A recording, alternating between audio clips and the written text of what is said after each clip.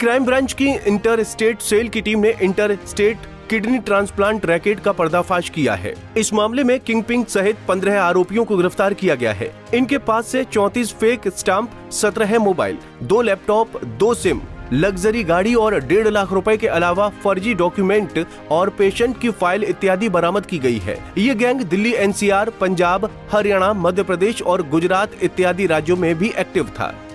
Interstate sale crime branch ने एक अंतर, अंतर्राज्यीय किडनी रैकेट का भांडाफोड़ किया है, जिसमें कुल आठ लोग गिरफ़्तार किए हैं। इनका मास्टरमाइंड एक संदीप नाम का व्यक्ति है।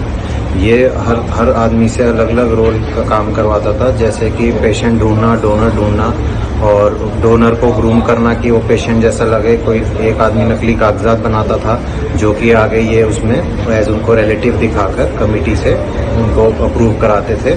तो इसमें ये कुल मिला के चालीस से पैंतीस से पैंतीस से चालीस लाख रुपए लेता था एक पेशेंट से, जिसमें कि सारी कॉस्ट इंक्लूडेड होती थी। जो कागजात बनाता था, उसको पचास हज़ार, जो ग्रूम करता था डोनर को, उसको पचास हज़ार, जो पेशेंट लाता था, उसको पाँच लाख, जो डोनर लाता था, उसको एक लाख, जो डोनर होता था उसको चार से पाँच लाख, ऐसे करके अलग अलग केस में। गिरफ़्तार किए गए आरोपियों में किंगपिंग संदीप आर्य नोएडा का रहने वाला है। ये पब्लिक हेल्थ में एमबीए की पढ़ाई कर चुका है। ये 35 से 40 लाख रुपए लेता था और सब कुछ खर्च करने के बाद 7 से 8 लाख एक किडनी ट्रांसप्लांट पर बेचता था। वहीं ये भी पता चला कि क्रेडिट कार्ड चीटिंग के मामले में भी ये शामिल रह चुका है।